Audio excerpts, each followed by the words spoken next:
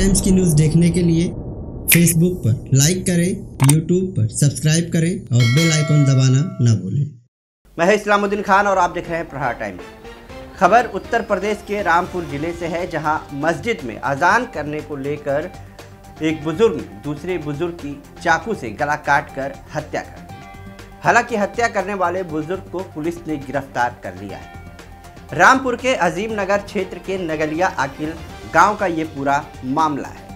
दरअसल पैंसठ वर्षीय सगीर बेग मूल रूप से पंजाब के रहने वाले थे, जो आकर नगलिया, आकिल गाँव में रहते थे। गाँव की ही बिलाल मस्जिद में वो अजान दिया करते थे। वहीं उन्हीं के पड़ोस में रहने वाले 55 वर्षीय जलीस अहमद भी मस्जिद में अजान देना चाहते थे और इन दोनों के बीच में इस मसले पर काफ़ी विवाद चल रहा था।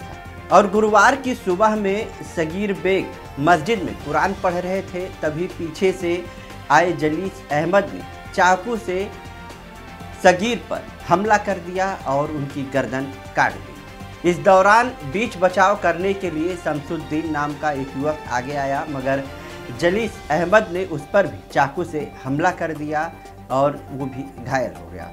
सगीर की हत्या कर जलीस भागने की कोशिश करने लगा, मगर तभी गाँव वालों ने उसे पकड़ लिया और उसके हाथ पैर बाँध दिए।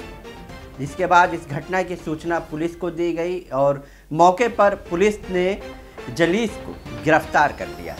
और इसके पास से वो चाकू भी बरामद कर लिया गया है, जिससे सगीर की इसने हत्या की थी। और अब ये भी जानकारी सामने आ रही है कि ये हत्या करने वाला व्यक्ति मंद बुद्धि का बताया जा रहा है। बहरहाल पुलिस इस पूरे मामले में जाँच पड़ताल कर रही है। तमाम खबरों को जानने के लिए देखते रहिए प्रहार टाइम